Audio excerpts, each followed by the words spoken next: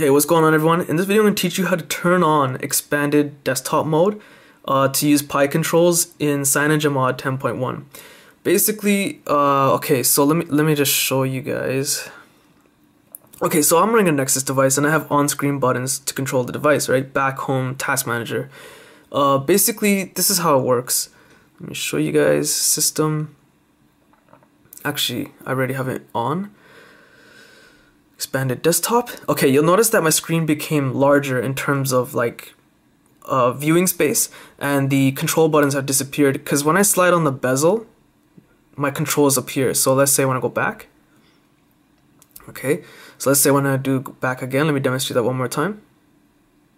All right, so if you want to turn that on, it's there's a stipulation. Um, you must be running some sort of Nexus device that has no physical buttons at the bottom um, it, it doesn't have to be necessarily a Nexus device, but I'm just saying as an example. And the other stipulation is that if your device does have hardware buttons like this, see at the bottom, there's four of them, you may or may not have the option that I just demonstrated, okay? CyanogenMod has said that basically it will be available to for certain devices that have hardware buttons, but not all of them. And that they might try to add more devices to that list. So there's no guarantee it's gonna be available for you in the first place, but here's how you find out. Basically, uh, what you do is when you go to your phone system settings, go to system at the bottom, looking for an option called Pie control. If you do not have Pie control, it means you can't do any of like you can't do this. Where is it? Oh, it doesn't want to work this time.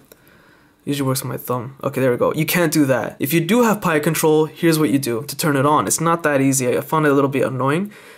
Go to Pie control, and of course you want to turn it on in the first place, right? Like that and you can change the size, whatever. You can actually have Pie control on the left, right, and bottom. It, you do have that option. Um, and of course it says top screen, but whatever. Okay, so that's only like half of the options what you need to do to get Pie controls up and running. The next thing you want to do is have the option to turn uh, expanded desktop on and off. So the easiest way to do that is while, let me just show you it's easier like this. In the phone system settings, in the system menu yet again, what you want to do is hit the power menu button, or option rather, and you get a whole bunch of options down here. You can turn screenshots, uh, blah blah blah. You're looking for expanded desktop. Make sure it's check marked. So when you press and hold your power button, this is the menu you get, right? And there, I remember I, I said screenshot, there's screenshots. You want to take a screenshot, you just tap it.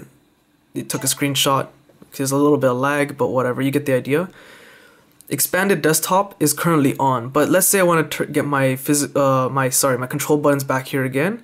I would tap expanded desktop and there expanded desktop is currently off. If I want to turn it back on go to the same menu by pressing and holding the power button and hit expanded desktop.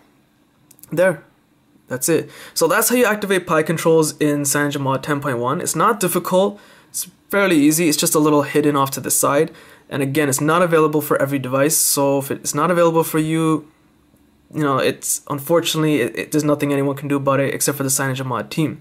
So if you found this video useful, check out my website in the description below. Hit the like button, it does help. Subscribe, and thanks for watching.